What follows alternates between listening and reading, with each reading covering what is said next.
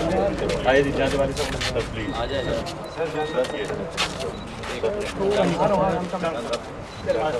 ये कहता है पिता। जी बिस्मिल्लाह पिता आपका पिता आपका आए जंगीज खान। आगे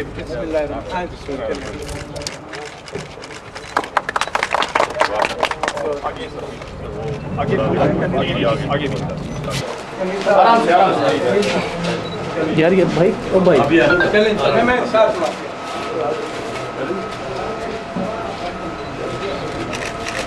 दुआ करने में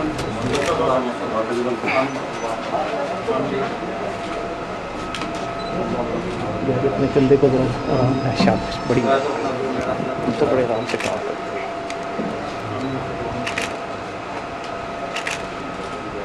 शाह जी बाजू ना हल है मेरा।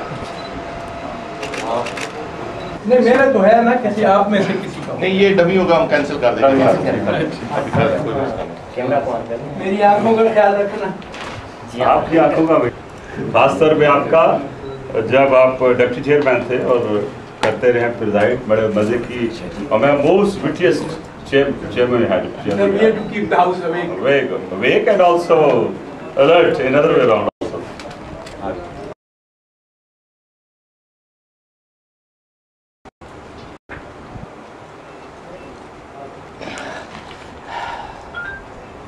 और रिश्ते मांगे नहीं जाते वैसे आ जाते हैं।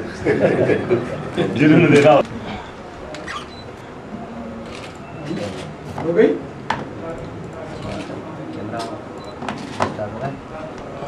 कैमरा रिस्टार्ट हो। रहा है? फुली फंक्शनल है?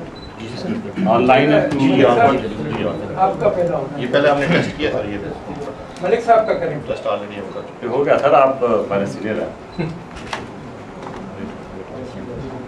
हो गया? जी सर हो रहा है। आगे आगे के लिए यहाँ पे कैंटीन खोल दी चाय चाय जी जी बर्गर सर्विस दूर से आते हैं नहीं सर ये कैबिनेट में आ जाएगा कैबिनेट में आ जाएगा। राइट सर ठीक बस तुरंत भी रहे जी ठीक है इसका रैक पर अभी आ रहा है वो सत्तर तक पहुँच गया तो इधर कोटिंग हुआ था फिर उसमें एक वक्त में प्रोसेस करने के लिए कितनी चाहिए होगी? इसकी स्पीड कितनी है? स्पीड सर इसकी स्टैंडर्ड जी उनको इनहांस करें डेली ओनली दिस एरिया जी हाँ जल बख्शी से लेके आगे सिपी से सब लोग स्टेट स्टेट फंड है नो स्टेट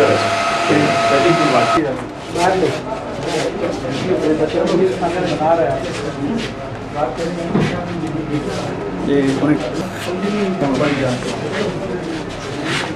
चलें अब ये जाओ क्विक टाइम गो बैक चलो बड़ी। चलिए। चले आगे चले आगे आगे चले That's great. Thank you. Thank you.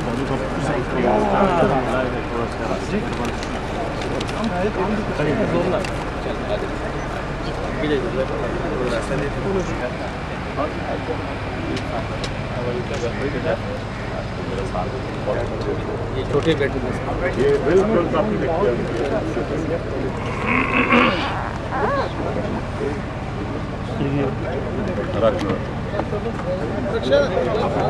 ठंडा ठंडा पानी चाहिए चलेगा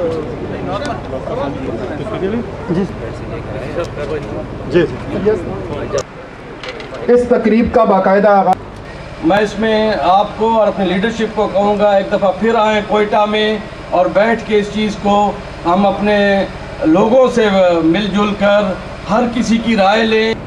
यार उधर से लाइव है आप लोग प्लीज़ यार थोड़ा सा छोड़ दे यार। उधर से लाइव है यार थोड़ा दूसरे यार live thank you thank you very much इधर आए ना सर आप। आपके साथ हैं। हैं। है एक किनारे की फरमाइश करूँगा। पाकिस्तान! पाकिस्तान! ये हमारी जो वर्कर है कैसी आप ठीक वुमेन विंग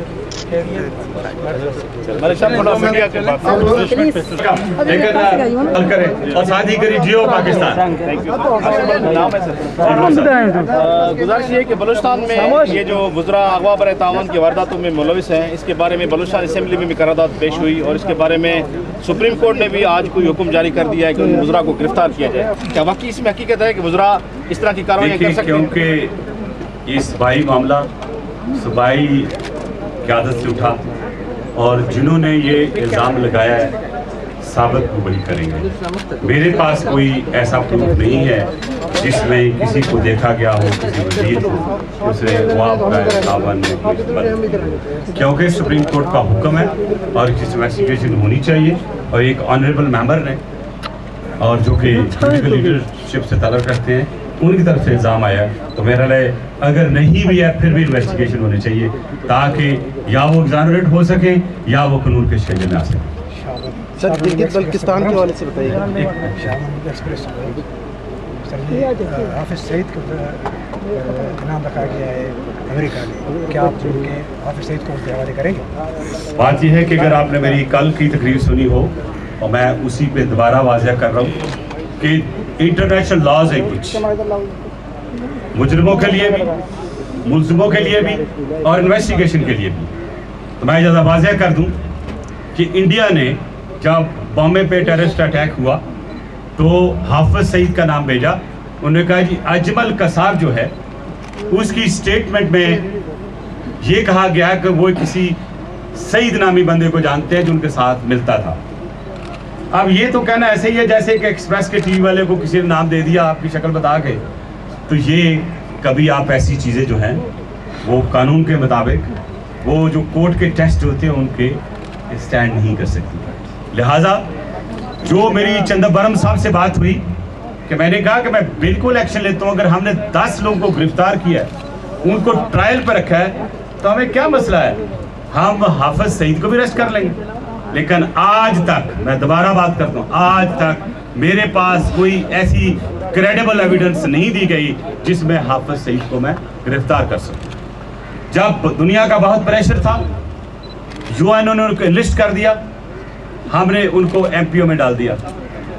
वो एमपीओ के तहत अंदर रहे हाई कोर्ट ने उनको छोड़ दिया, उसके बाद सुप्रीम कोर्ट में हम गए, सुप्रीम कोर्ट ने उनको छोड़ दिया और हमें दस हज़ार रुपया फाइन कर दिया। उसके बाद जो एग्जेक्टिव है, उसके पास पावर नहीं रहती।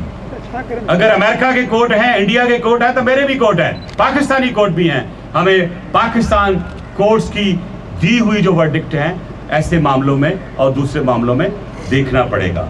उनका ख्याल रखना पड़ेगा, उन्हें ओबे करना पड़ेगा। इसलिए कल मैंने कहा कि अमेरिका ने जो तरीका इख्तियार किया है, वो गैर मुनासिब है। वो इंटरनेशनल कानून के मुनाफी है। तरीकाकार क्या है? अगर आपके पास, अगर अमेरिका के पास कोई एविडेंस थी या है तो हमें वो एविडेंस दी जाए। अगर वो एविडेंस किसी कोर्ट के सामने रखी गई है तो वो एविडेंस कोर्ट के थ्रू थ्रू इंटरपोल और थ्रू दी डिप्लोमेटिक चैनल वो हमें दी जाए, ताकि हम उसको एग्जामिन करें। और फिर, अगर आपने कोई एक्शन लेना है तो आपको क्या करना चाहिए? बहुत अच्छी तरह जानते हैं आप। उनको डिपोर्ट करने के लिए रीजन से एक्सट्रोडिशन के लिए हमारी अनहर्ड को सजा दे सकता है। अगर उनके खिलाफ इल्ज़ाम आते उनको पूरा मौका देना चाहिए कि वो अपने इल्ज़ाम को साबित कर सके। दो एफ़ आई आर दर्ज हुई फैसलाबाद में उनकी तकरीर की वजह से। वो लाहौर हाई कोर्ट में गई, उन्होंने क्वैश कर दी। फाइन उसके बाद उन्होंने कोई ऐसी चीज़ हमारे काबिल ज़िक्र नहीं आई कि हम उनको हाथ डाल सकते। लेकिन मैं ये समझता हूँ कि ममालिक में स्टेट्स में कह रहे हैं आपका दिल दिल पे हाथ रख के कहिएगा कि क्या हमने वो कार्रवाई नहीं की जो उन्होंने मांगी? जो डिमांड्स की हमने नहीं किए? क्या केसेस वापस नहीं लिए? अब तो हम माफ़ी भी मांग चुके हैं। प्रेसिडेंट के लेवल में माफ़ी दी अभी माफ़ी दे दो भाई। लेकिन पाकिस्तान की सालमियत पे हम किसी सूरत में आँच नहीं आने दें। मैं आपसे सवाल करता हूँ कि हमारे रोज चार पाँच एफसी के नौजवान शहीद होते हैं? क्या उनके लिए हाथ नहीं दबा के लिए उठने चाहिए? क्या उनकी माँ नहीं है? क्या उनकी बहन नहीं है? क्या वो रोज आपको प्रोटेक्ट नहीं करते हैं? और फिर बड़े फख्र से भी अल्लाह कहता है कि ये काम हमने किया। यार कौन सी बहादुरी दिखा रहे हो? ताक लगा के आप अपने फौजियों को शहीद कर रहे हो? किसके कहने पे? कि चार लाशों पे पर हेड पैसे मिल जाएँगे? प्लीज़ छोड़ दें ये। पाकिस्तान के लिए, अपनी नस्लों के लिए। आज भी वही ग्रीन पासपोर्ट लेके आप जाते हो। उसी की बदौलत सफ़र करते हो। और हमारा फिर भी देखें, हमारे पास चॉइस था।